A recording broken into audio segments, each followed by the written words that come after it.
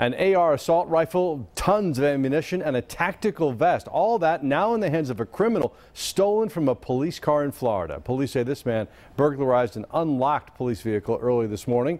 According to investigators, the crook came back three times to collect all the stuff inside.